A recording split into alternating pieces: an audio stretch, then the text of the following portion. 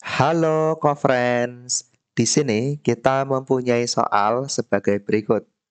Tekanan 1 Pascal setara dengan Nah, kita perhatikan di sini bahwa 1 Newton itu sama dengan 1 kg kali 1 meter per sekon kuadrat.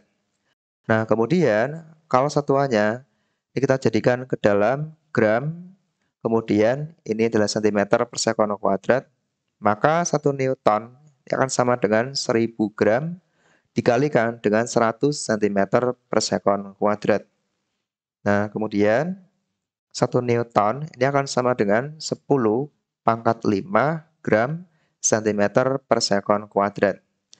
Nah, untuk satuan gram cm per sekon kuadrat itu sama dengan Dain. Nah, sehingga 1 Newton sama dengan 10 pangkat 5 Dain. Kemudian, untuk 1 Pascal ini sama dengan 1 Newton dibagi 1 meter persegi. Nah, sehingga kalau satuannya kita rubah, Nah, kemudian ini 1 Pascal, ini akan sama dengan 10 pangkat 5 Dain, nah dibagi dengan 10 pangkat 4 cm persegi. Nah, sehingga akan kita peroleh 1 Pascal ini sama dengan 10 Dain per cm persegi.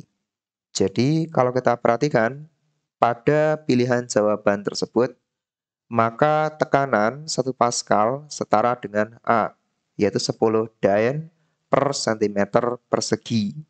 Nah, sampai berjumpa di soal yang selanjutnya.